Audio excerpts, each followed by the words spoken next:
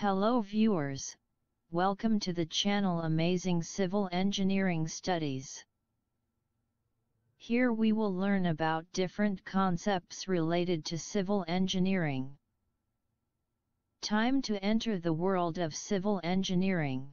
In today's video we are going to discuss about Pelton wheel turbine. The Pelton wheel turbine is a tangential flow impulse turbine in which a high-speed water jet is created by converting the pressure energy of water into kinetic energy and this jet collides tangentially with the wheel to rotate. The energy available at the inlet of the turbine is only kinetic energy. The pressure energy at the inlet and outlet of the turbine is atmospheric. This is a hydraulic turbine and the main uses of these turbines are in the hydropower plant to generate electricity. It is impulse tangential flow, high head, and law specific turbine. It require comparatively less quantity of water. A Pelton wheel name after the American engineer Lester Pelton who contribute much to its development. The energy available at inlet is only kinetic energy. Parts of a Pelton wheel turbine A Pelton wheel turbine consists of five major parts and those are Nozzle Runner and buckets. Casing and Braking jet. Penstock. Nozzle.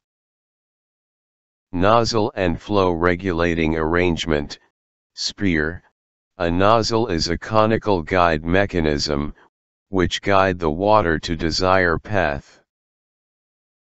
It also regulate the flow of water. This water in the form of jet strike the vanes. A conical spear operates inside the nozzle in an axial direction. The function of spear is to control the quantity of water through the nozzle. When the spear push forward into the nozzle it reduce the area of jet, and then quantity of water flowing through jet is reduced. When spear is pulled back of the nozzle, the quantity of water is increased. Penstock It is large-sized pipe or conduit which conveys water from the high-level reservoir to the inlet of turbine. Penstock is made of steel, concrete, or wood depending on head and quantity of water requires. Runner and buckets. A runner is a circular disc fixed to horizontal shaft. On the periphery of the runner, a number of bucket are fixed uniformly. The shape of bucket is of a double hemispherical cup or bowl. Each bucket is divided into two symmetrical parts by dividing wall is called splitter. The purpose of splitter is to split water jet in two equal parts without shock each part of the jet flows sideways round the smooth inner surface of the bucket and leaves it with relative velocity almost opposite in direction to original jet. When the bucket is exactly hemispherical cup, the jet gets deflected through an angle 180 degrees, and maximum driving force will be exerted on the runner. For high head turbine, bucket are made of bronze, stainless steel, or alloys, but for low head turbine it may made of cast iron. The surface of bucket is very smooth. Casing the function of casing in Pelton turbine is to prevent splashing of water, guides the water to flow to tail race and provides safety against accidents. It is made of cast iron or fabricated steel plates. The casing of the Pelton wheel does not perform any hydraulic function. Braking jet When the nozzle is completely closed by moving the spear in the forward direction, the amount of water striking the runner reduces to zero. But the runner due to inertia goes on revolving for a long time. To stop the runner in a short time, a small nozzle is provided which directs the jet of water on the back of the vanes. This jet of water is called braking jet. It acts as a brake for reducing the speed of the runner. Working principle of Pelton wheel turbine. Let's understand by the figure or layout of the hydropower plant. The water is stored at the high head. From there it comes through the penstock and reaches the nozzle of the Pelton turbine. The nozzle increases the kinetic energy of the water and directs the water in the form of the jet.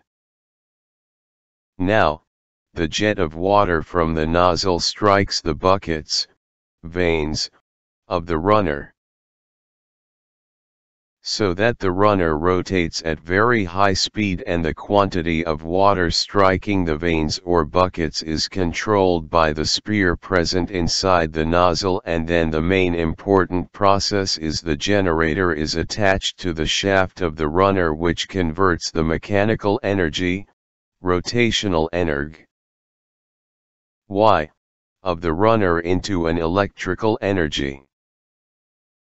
These are some advantages of Pelton wheel turbine. The Pelton turbine is the most efficient of hydro turbines. It operates with a very flat efficiency curve. Each bucket splits the water jet in half, thus balancing the side load forces or thrust on the wheel and thus the bearings. It operates on the high head and low discharge. It has a tangential flow which means that it can have either axial flow or radial flow. Pelton wheel turbine is very easy to assemble. There is no cavitation because water jet strikes only a specific portion of the runner. It has fewer parts as compared to Francis's turbine which has both fixed vanes and guided vanes. The overall efficiency of the Pelton turbine is high. Pelton wheel turbines, both first law and the second law of motion are applied. The main advantages are that in this turbine, the whole process of water jet striking and leaving for the runner takes place at atmospheric pressure. Thanks for watching. Please subscribe, like, share and do not forget to press bell icon.